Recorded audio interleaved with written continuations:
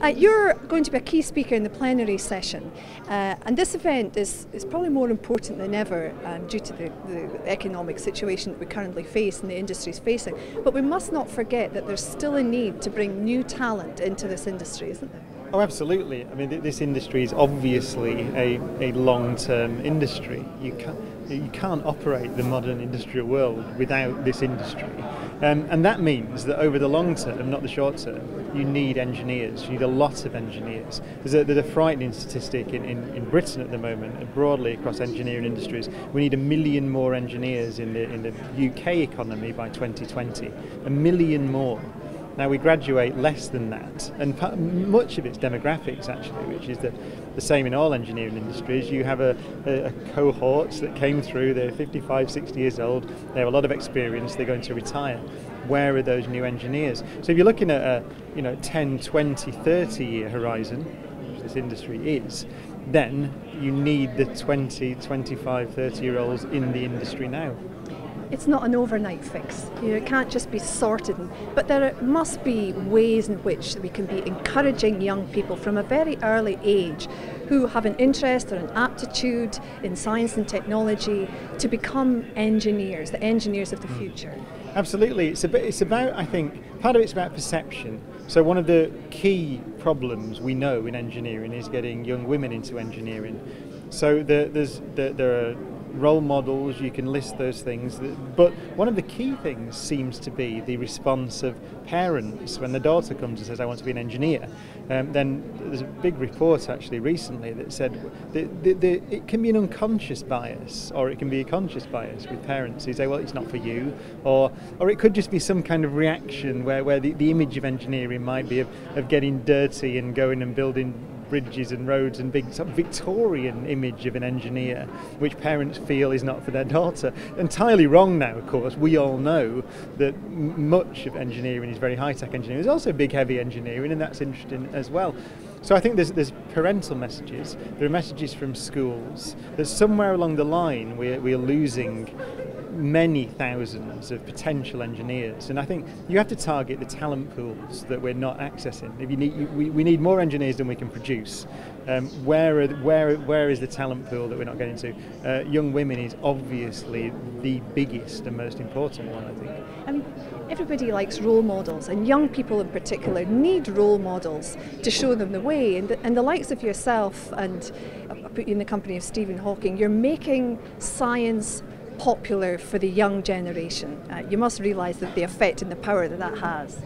Um, yeah, more broadly, I think um, the, the, the image of science has changed. I think uh, for the better over the last decade or so, a lot of that's the media. Um, the big stories like the Large Hadron Collider, where I work at CERN, yeah, that's that's exciting. Partly though because of the framing that we put on it. So particle physics is actually very difficult to describe. You know, it's not the easiest thing. So what are we doing? It's called electroweak symmetry breaking. It's but you know, or you can say, well, we built this machine. It's the biggest machine ever built, the biggest scientific experiment ever built, 27 kilometers in circumference. Great engineering story, by the way, as well. The, the, the so many engineers make that happen. And then you say, well, what we do, is recreate the conditions that were present just after the Big Bang.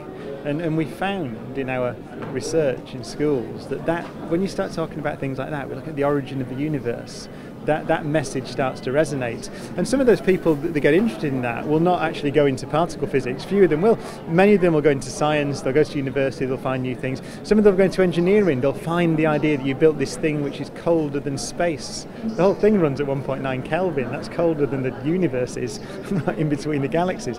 So that's an engineering challenge, and then the, so you can you can be an engineer that contributes to the science. You can be so, so I think it's, it's that framing and, and saying well in an endeavour such as this, you need all these skills and you can all contribute.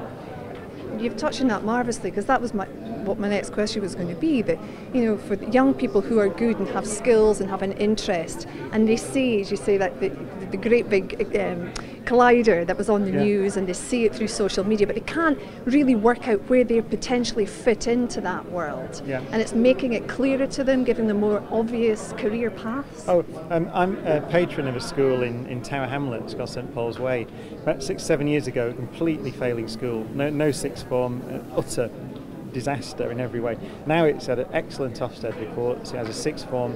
Half of its sixth formers went to do uh, STEM subjects at university, science, technology, science, technology, engineering, mathematics, and half of those were young women. So complete success. It did it by focusing on science and by involving the universities, involving the local industry, which in that case is finance, because it's in Tower Hamlets.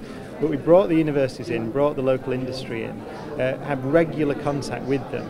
And what that does is it gives the students information and a sense of possibility. I think that's, that's key because if you come from a background where your parents haven't been to university, um, you perhaps no one on your street ever went to university or your family, you don't know anyone who went to university, it seems impossible. So if you say I want to work in offshore industries. Right? I, I, like this idea. Right? I'm in Aberdeen. I can see those the, those oil rigs. I'm fascinated by those things. Um, how do you get to do it? If, if you're from a background where you you can't imagine the steps to go through to become a professional engineer, then it's a huge barrier. So it's information. And I think that's where the industries and universities can come together. The, the closer you work with the schools, the more you can try and perhaps put some research into the schools. In, in Tower Hamlets, we have a, a, partnership with Queen Mary University to look at diabetes, because diabetes is a local health problem and also an interesting local research area. So that research that the students can do then acts as a launch pad, to and, and, then they talk to university people, they talk to industry people, and off they go. And we get, we had one um, student go to Oxford to do medicine uh, from that school, uh, whereas six years ago there wasn't even a sixth form in the school. So, it, so that I think that's a message, key message in, in Aberdeen here that we, you know, the, the, the offshore industry is enormous. So the closer that integrates with the schools, the more those students can see the path through to working in that industry. That's an absolutely fantastic message to end on. Thank you very much indeed. I hope you enjoy your time here at Offshore Europe. Thank you very much. Thanks for joining us.